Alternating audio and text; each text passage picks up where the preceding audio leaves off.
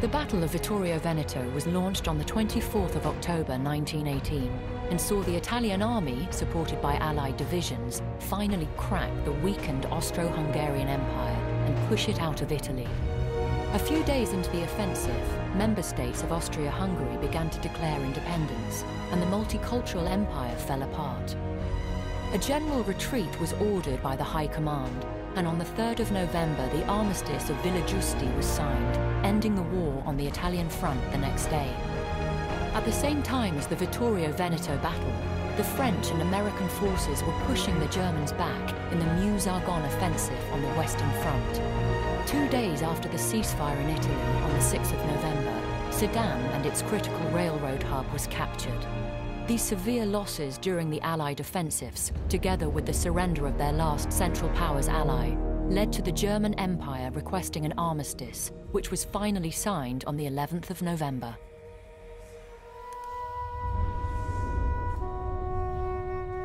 On the anniversary of their humiliating defeat at Caporetto, the Italian army launched a huge assault to win back the land they had lost from the now well-prepared Austro-Hungarians. This would be the ultimate test for both of these courageous armies.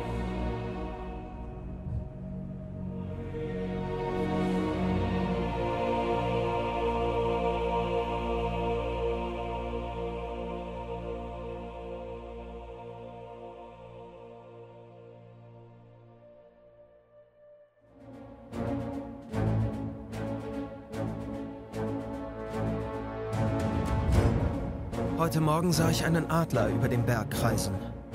Ich kam nicht umhin, an unseren Reichsadler zu denken, der uns die wahre Größe unserer Ideale zeigt. So majestätisch, so erhaben. Er kann von dort oben sicher die Italiener sehen.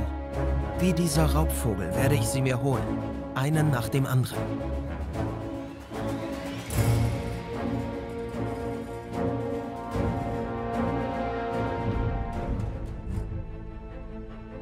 Soldaten, the Italians are upon us. We must hold the Church of San Rocco. If we are overcome, fall back to our second line in the Valley of Seren.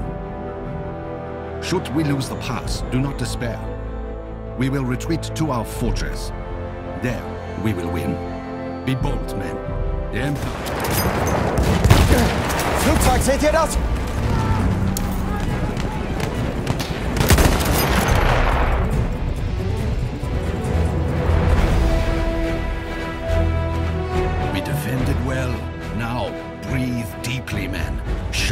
With pride at this small victory. Then steel yourselves again, for our fight is not over. Onward!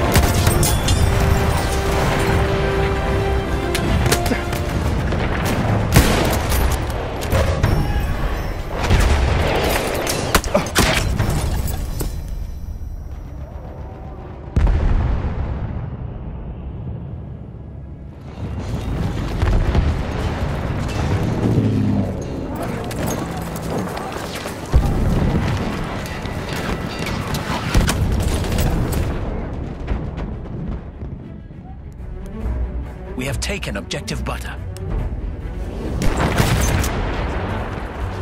Seht ihr? Das ist einer ihrer Soldaten.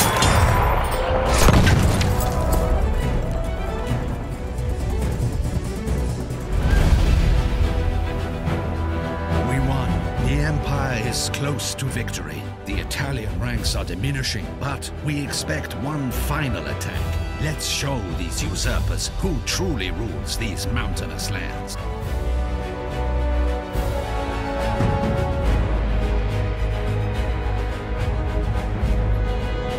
The enemy is being reinforced with an airship.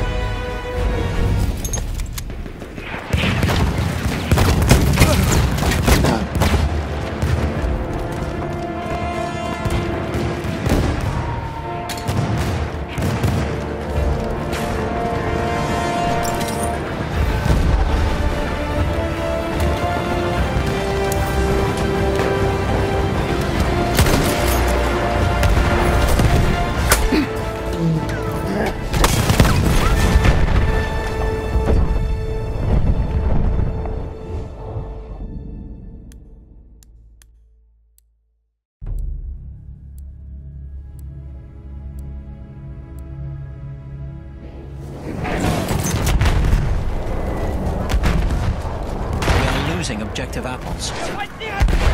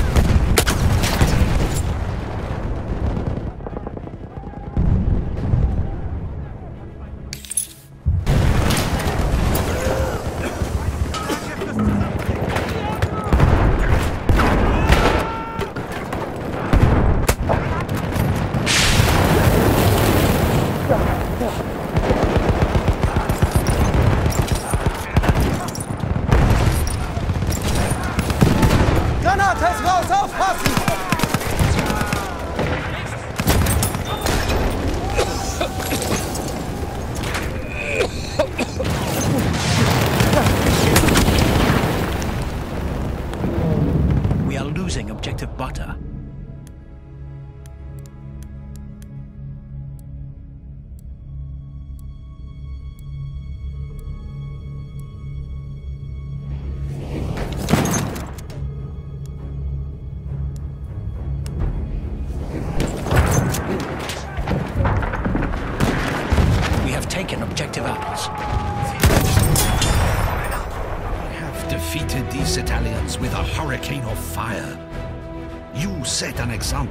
Central Powers across the world.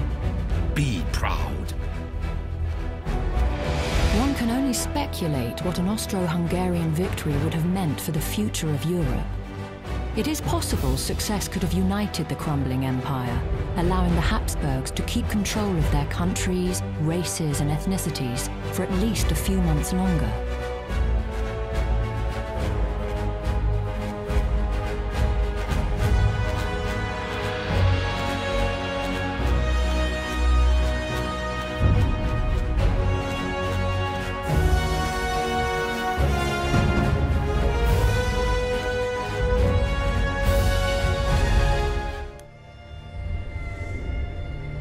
The US Army's attack along the River Meuse would be the first time most of these so-called doughboys had witnessed real combat.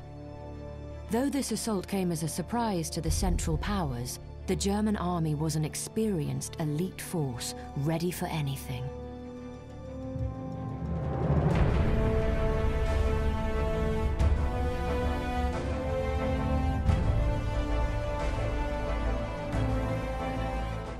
Tomorrow we'll be going over the top, finally up against the Hun.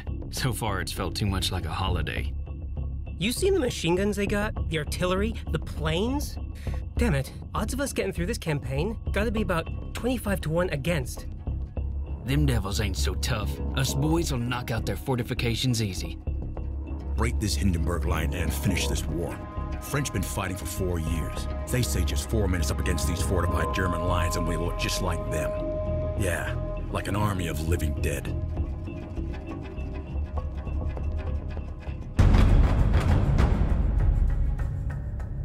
General Pershing has ordered an attack along the Meuse River. First, we must secure Shrapnel Corner, this fortified trench line here. Then we will move into their rear, take and hold this chateau. Following this assault, we will continue our push towards this railway hub and capture it quickly. This will clear the way into the Argonne Forest. Remember, boys! The new world is coming to redress the balance of the old! It is now or never! Six minutes! Attention!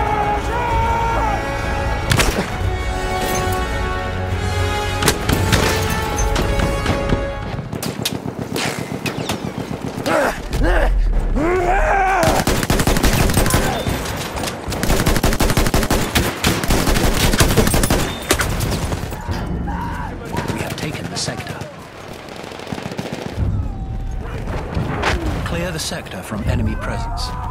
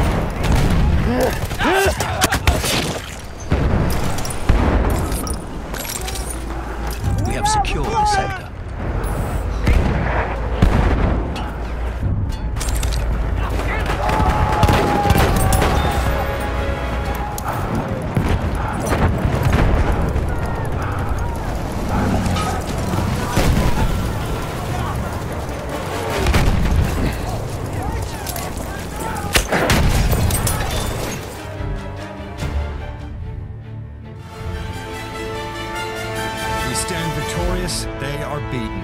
You are all heroes. You rushed into this fight and broke the resistance of this brutal foe. But it's only the beginning. Now we must move to the Argonne Forest and finish this war once and for all. The Germans were using defense in depth tactics designed to lure the enemy towards much stronger rear defenses. The victorious doughboys marched into the Argonne forest, unaware of the deadly defenses awaiting them ahead.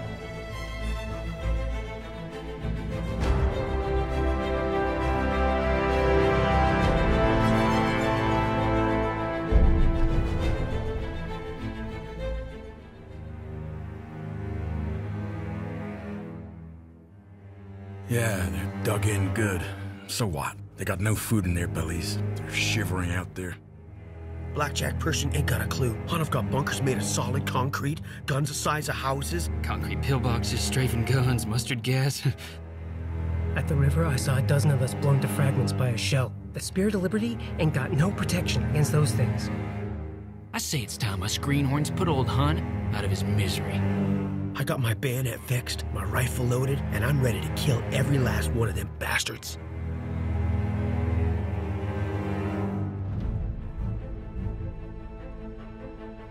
The Germans occupy several strongholds within the Argonne Forest. Our priority is to take the Ritz bunker here. Once this position is secured, we must attack and hold the bridge at Hellfire Junction. From here, we launch our attack on their lines and take control of these abbey ruins. Remember, the Germans have been strengthening these fortifications for years, so this won't be easy.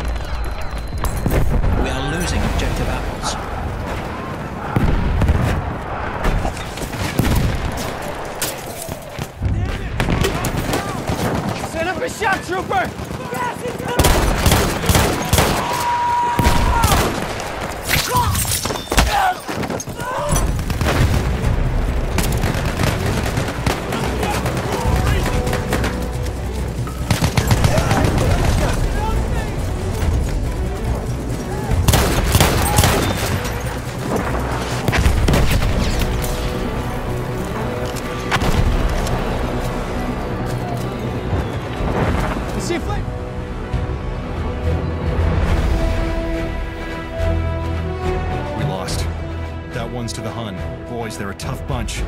But their heart isn't in it anymore. So let's go at them again, this time to victory.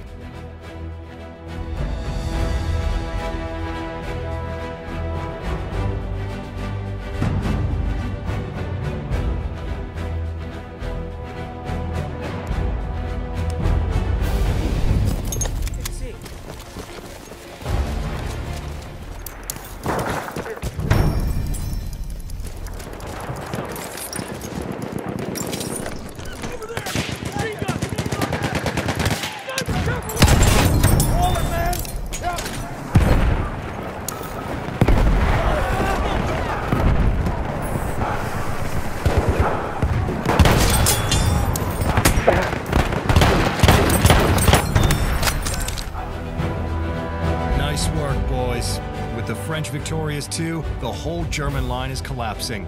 They'll be surrendering by nightfall. We did what we came to do. Let's pray this is the war to end all wars. The success of the Meuse-Argonne offensive came at a high price and remains to this date the bloodiest battle in American history. This outcome broke the German army, leading to an armistice and peace, with the Allies' nation dictating terms.